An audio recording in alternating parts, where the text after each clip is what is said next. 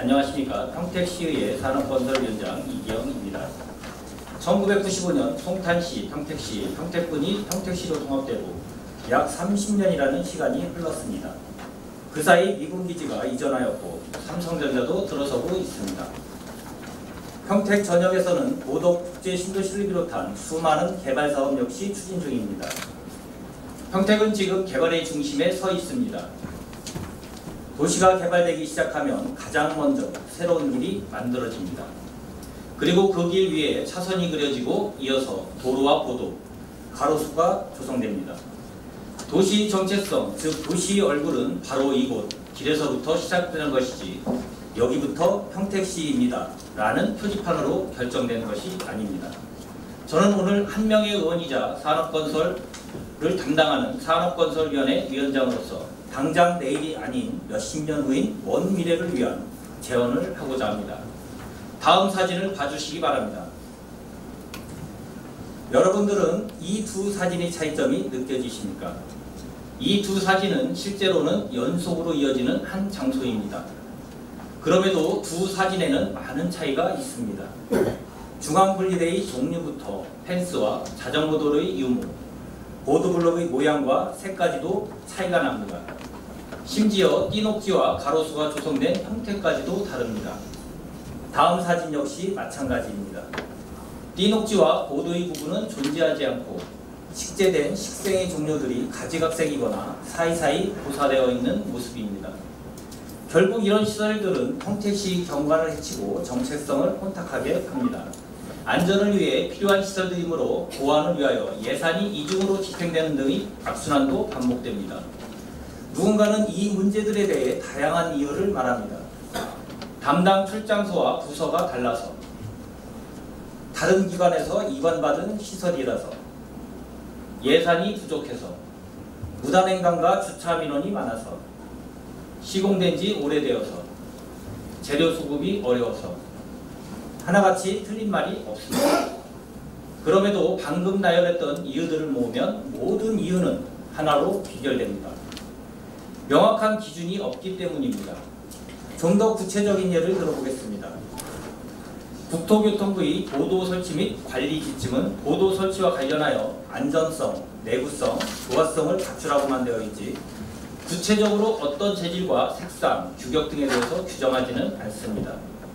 설치 환경이 다양해 일률적 기준을 제시하기 어렵기 때문에 지자체의 특성에 맞게 기준을 정리하라는 의미입니다. 평택시에서 제작한 평택시 공공시설물 평, 표준 디자인에는 보도 설치와 관련하여 간결한 패턴과 색채 사용, 미끄럽지 않고 투수율이 높은 제품 사용, 주변 환경과 잘 어울리는 무채색의 사용 등 국토교통부의 지침과 크게 다르지 않습니다. 그렇다면 담당 부서의 기준은 어떨까요?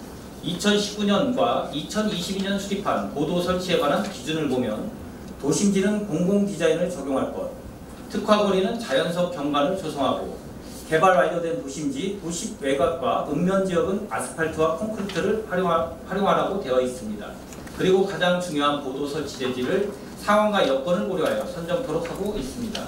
결국 국토교통부부터 담당 부서에 이르기까지 명확하고 구체적인 규정이 없으므로 보도의 색상은 알록달록하고 재질은 제멋대로 인 결과가 발생하는 것입니다. 비단 보도만의 문제도 아닙니다. 앞에서 보여드렸던 중앙분리대, 난간, 연서, 띠녹지, 자전거도로, 가로수, 방음벽 등 도로에서부터 안축녹지까지 구간 내 모든 시설들이 같은 문제에 직면한 상황입니다. 이러한 문제는 관리 측면에서도 마찬가지입니다. 국토교통부는 C등급 이상의 상태로 고도를 유지토록 하지만 C등급 판정 기준 또한 명확하지, 않아 불량한 보도들이 수리 없이 방치되고 있습니다. 볼라드는 유지관리 지침조차 없습니다. 송탄 출장소와 보도는 이미 부러진 볼라드들이 보도에 방치되어 있고 그 사이로는 불법 주정차들이 존재합니다. 이뿐만이 아닙니다. 보도 일부분은 사람이 아닌 전동 킥보드가 점령하고 있습니다. 우리는 상위법이 없다는 핑계로 전동 킥보드 방치로 인한 보행자 부상 위험을 외면하고 있습니다. 이렇듯 시설들이 유지관리가 미흡한 이유 역시 유지관리 기준이 명확하지 않기 때문입니다. 저는 이러한 문제점들을 개선하기 위하여 다음 내용을 제안하고자 합니다. 첫 번째, 도로부터 완충 녹지 구간까지를 통합 도로관리구역으로 지정 관리할 것을 제안합니다. 도로와 띠녹지는 연속적으로 이어져 있습니다. 띠녹지는 보도와 보도는 다시 자전거도로와 이어집니다. 그럼에도 담당하는 부서는 제각각입니다. 심지어 남부, 북부, 서부 지역으로 관리되고 있습니다. 통합도로관리구역 내 시설별 관리부서를 명확히 함과 동시에 협의체를 구축하여 시설의 설치나 관리가 일관성 있고 유기적으로 이루어질 수 있도록 해야 합니다. 필요하다면 하나의 부서를 메인 부서로 지정해 협의 체계를 총괄하는 것도 검토할 만합니다. 두 번째, 가이드라인을 만들 것을 제안합니다. 통합도로관리구역 안 시설들에 대해 평택 시만의 고유한 정책성을 포함한 명확하고 확실한 기준이 필요합니다. 그 기준들은 시설 설치에만 국한된 것이 아니라 시설의 유지관리와 타 기관의 인수인계에 관한 내용까지 모두 포함하여 다양한 환경에 적합한 재료와 설치 방법 등을 제시해야 합니다. 그리고 그 기준들은 시민, 전문가, 공무원을 포함한 다양한 분야의 인원으로 구성하여 충분한 수기 과정을 거친 후 만들어져야 할 것입니다. 이 과정 속에서 더 이상 차나 건물 중심의 개발이 아닌 사람 중심의 기준을 수립하고 사람 중심의 행정을 펼칠 수 있어야 할 것입니다. 지금 당장 모든 시설들을 갈아엎자는 의미는 아닙니다.